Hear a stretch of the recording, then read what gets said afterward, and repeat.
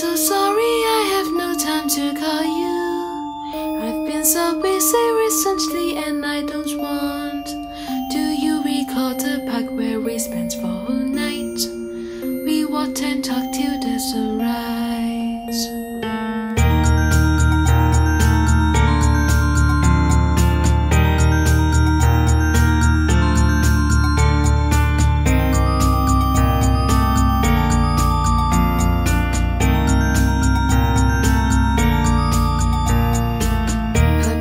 Sometimes.